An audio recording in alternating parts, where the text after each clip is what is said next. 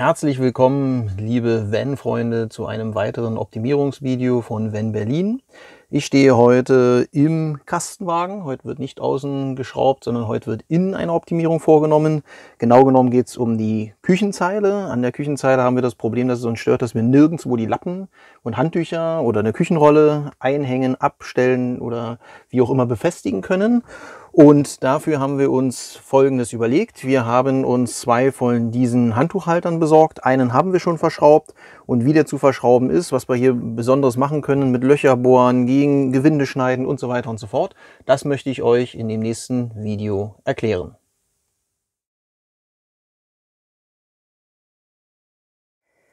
In der Einleitung habe ich schon kurz gesagt, es geht um die Montage zweier solcher Handtuchhalter, einen habe ich schon angebaut und den zweiten möchte ich mit euch gemeinsam anbauen, um euch zu zeigen, wie das geht.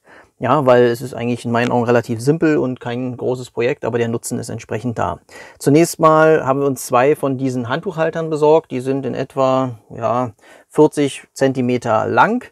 Edelstahl äh, zeichnen sich dadurch aus, dass sie auf der oberen Seite, wir werden das so verbauen, dass sie auf der oberen Seite bereits ein Loch haben mit einem Durchmesser von 4,2 Millimeter. Und dieses Loch werden wir benutzen, um nicht wie vorgesehen, wo sind sie hier, diese Holzschrauben, ja, oder diese Schrauben, die sind dabei mit Kappen, die man alles dann wunderbar verstecken kann und so weiter.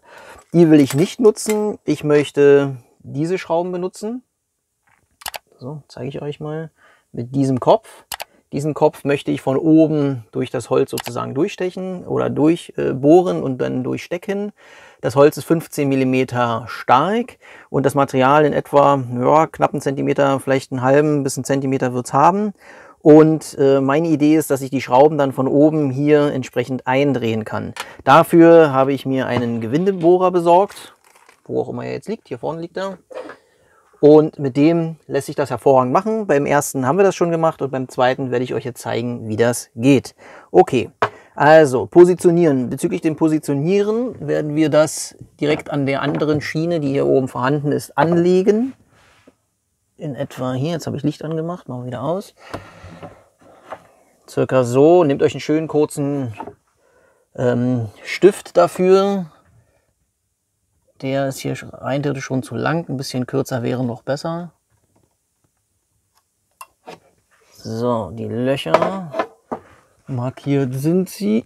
Ich werde sie kurz nachzeichnen, um sie weiter zum Holz hin anzuzeichnen. So, der Schrank oben, das passt auch. Beide Elemente, also beide Halter werden bei mir in diesem Schrank hier oben dann verschraubt. Das zeige ich euch nachher jetzt das Loch bohren. Dafür nutze ich einen 5er Bohrer.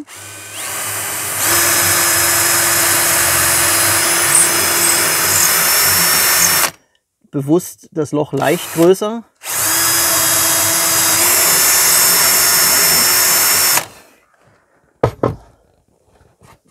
So, ein wenig entgraten.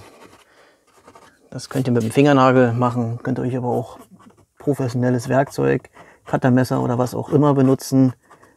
In meinen Augen reicht hier der Fingernagel dafür aus. Okay, ein bisschen Dreck haben wir hier unten gemacht, aber das ist jetzt nicht schlimm.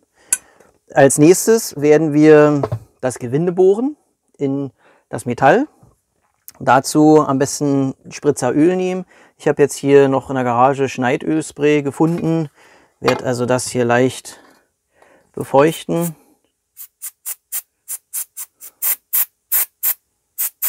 Ja, viel ist nicht mehr drin, aber ein bisschen was ist drauf. Reicht als Film. Okay.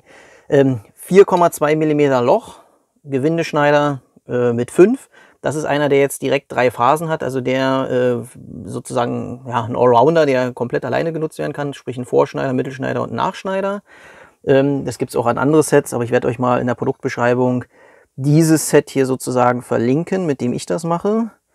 So, jetzt schneiden wir den an, immer ein Stück wieder zurück. Ja, so ein paar Umdrehungen, dann immer wieder zurücksetzen. Das merkt er dann richtig, wie entsprechend das Metall sich löst.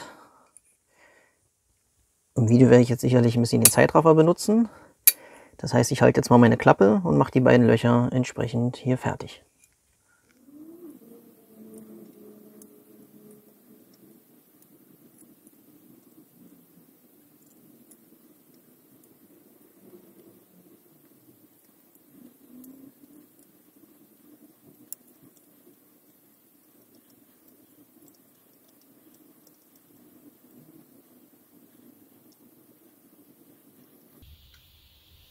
So, Loch Nummer 1 ist fertig.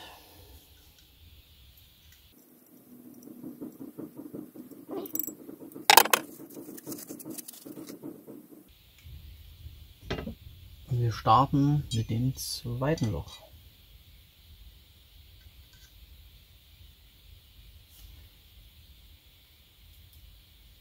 Mal schön gerade ansetzen. Nicht mit zu viel Druck leicht vorwärts und dann auch schon wieder rückwärts, um den Draht hier zu brechen. Also nicht zu weit reindrehen, lieber weniger vorwärts und immer wieder ein Stück rückwärts, um einfach Step by Step vorwärts zu gehen. Ansonsten bricht es euch einfach ab. Die Erfahrung habe ich auch schon gemacht. Und wichtig, 4,2 mm vorbohren. Also kontrolliert, dass die Löcher entsprechend den Bohrer 4,2, ja, dass das vorgebohrt ist und dann könnt ihr den M5 benutzen.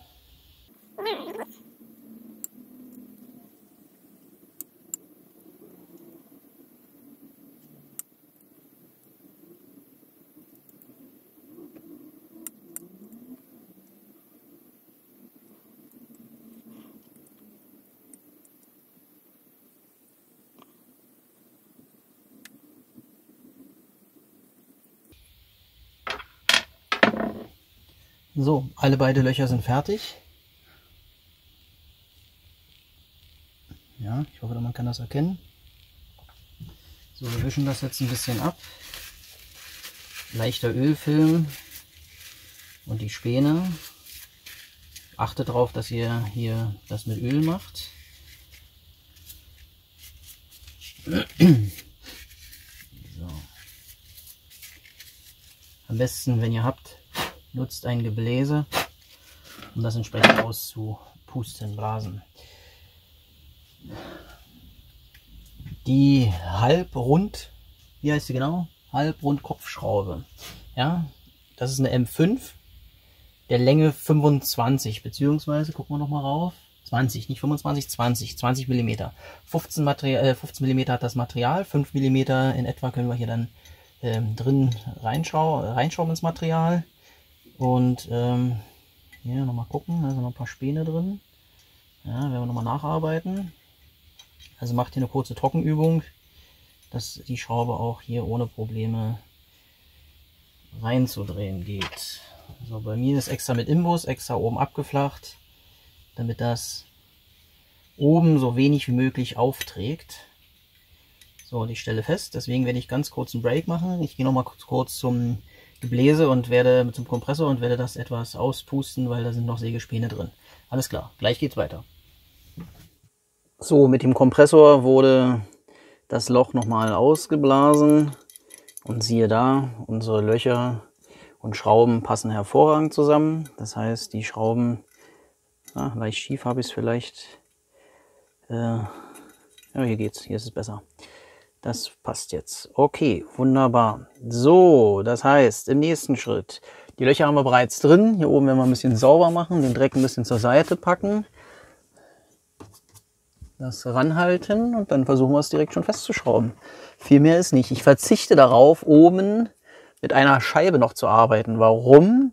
Weil ich nicht möchte, das werde ich euch gleich am Ende filmen hier oben rein, weil ich nicht möchte, dass das zu sehr aufträgt. Und ihr seht das jetzt aktuell hier vielleicht rausschauen, 5 mm in etwa, möchte ich ja auch, dass die Schraube entsprechend hier im Gewinde verschwindet. Und das würde es nicht, wenn ich da oben noch mit einer zusätzlichen Scheibe arbeite. Weil dann bleiben vielleicht noch maximal 2, zwei, 2,5, 3 mm übrig und ein bisschen mehr will ich schon, dass es im Material ja, äh, fest sozusagen, also dass es reingedreht werden kann. So, hier ein bisschen mit dem Inbusschlüssel nacharbeiten. Die erste Schraube haben wir schon drin. die zweite hinterher. Das Loch passt, soweit ich das erkennen kann. Auch hier werden wir ein bisschen nacharbeiten.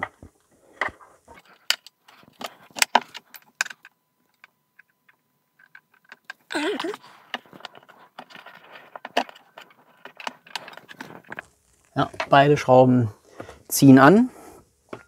Dafür benutze ich jetzt dann diesen kleine Ratsche. Ja, die passt schon mal. Und die zweite passt auch.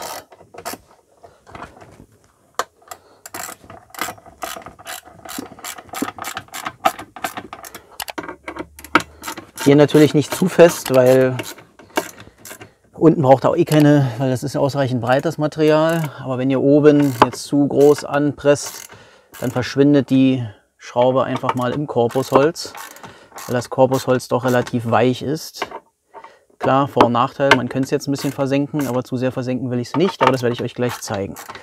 Okay, gut, haben wir es auch schon. Dann schwenken wir mit der Kamera mal hier rum. So sieht es also dann jetzt von vorn aus. Alle beide Elemente. Ja, so, hier hinten, das kriegt man noch ab. So ein bisschen mehr von unten vielleicht. Hier mal ein bisschen näher ran. Das heißt, ihr seht hier, das versuchen wir mal scharf zu machen. Ihr seht hier die beiden Schrauben minimalst rausschauen. Das gleiche auf der Seite. Ja,